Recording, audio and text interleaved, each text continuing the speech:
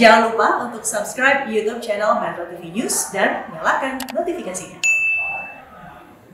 Ratusan karyawan Intercontinental Bali Resort menjalani proses vaksinasi sejak Selasa pagi. Kita akan segera bergabung dengan rekan Reno Reksa untuk informasi selengkapnya.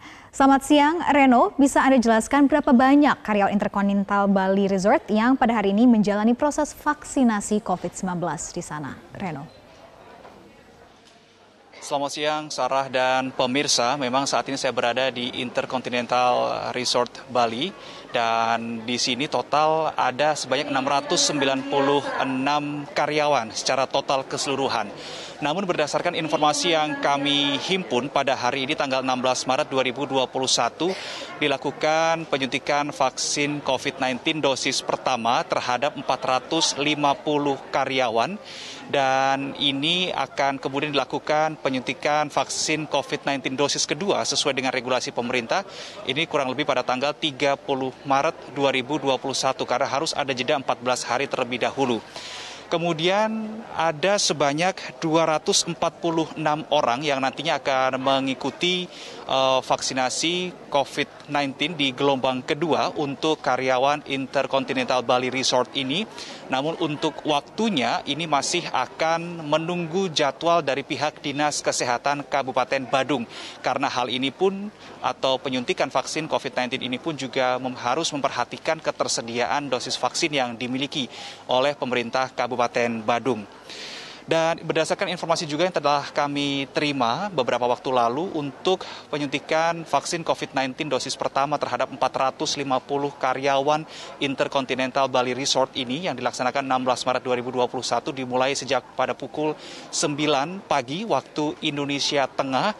Dan ini ditargetkan selesai kurang lebih pada pukul 13 sampai 13.30 waktu Indonesia Tengah.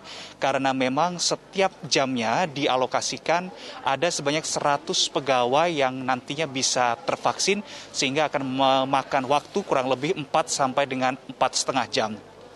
Kalau kita melihat angka peserta vaksinasi COVID-19 di Intercontinental Bali Resort ini memang jumlahnya banyak 450 orang. Namun meski begitu penerapan protokol kesehatan secara ketat ini tetap dilakukan yakni dengan cara tadi sudah saya sampaikan untuk mengatur tidak terjadi adanya kerumunan diberikan spare 100 orang setiap jamnya dan ini posisi duduknya seperti yang kami pantau sejak tadi pagi diatur berjarak. Kemudian setiap pegawai diwajibkan mengenakan masker dan juga melewati uh, atau menjalani proses vaksinasi. Ada empat meja. Yang pertama adalah meja registrasi kemudian meja screening meja vaksinasi dan juga meja observasi di mana di meja observasi ini pun uh, Nantinya para pegawai Intercontinental Bali Resort akan mendapatkan uh, surat keterangan bahwa mereka sudah menjalani proses vaksin dan ini dirasa penting untuk mereka menjalani proses vaksinasi COVID-19 dosis kedua. Untuk meja yang tersedia juga sangat banyak, Sarah Wayne dan pemirsa bahkan per meja ini bisa sampai 8 tim, 8 sampai 10 tim yang melayani sehingga proses uh, registrasi dan seterusnya untuk di Intercontinental Bali Resort ini berjalan dengan sangat cepat dan tertib untuk setiap pesertanya. Dari 450 orang yang sampai dengan saat ini masih terus menjalani proses uh, vaksinasi, sampai dengan saat ini belum ditemui adanya KIPI atau kejadian ikutan pasca imunisasi. Meski begitu, pihak dari Intercontinental Bali Resort menyiapkan dua tempat tidur dan dua tempat tidur nanti ini di standby-kan untuk sebagai dalam tanda kutip mini ICU. Ini adalah bahasa yang digunakan.